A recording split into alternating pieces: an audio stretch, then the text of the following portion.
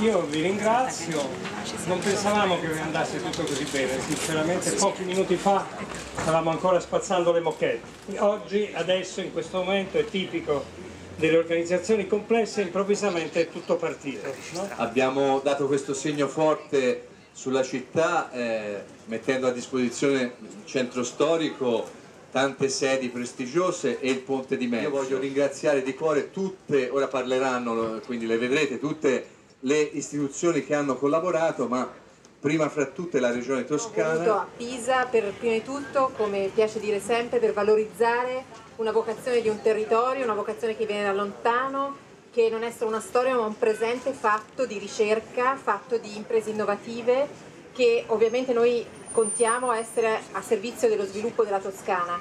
Quindi questo per noi e del Paese ovviamente. Quindi per noi questa è la priorità, quella di valorizzare una vocazione del territorio.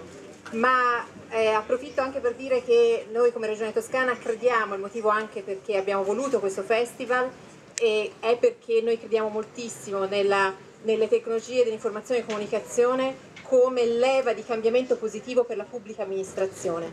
Direi che la sintesi è se non a Pisa dove? Solo a Pisa, no?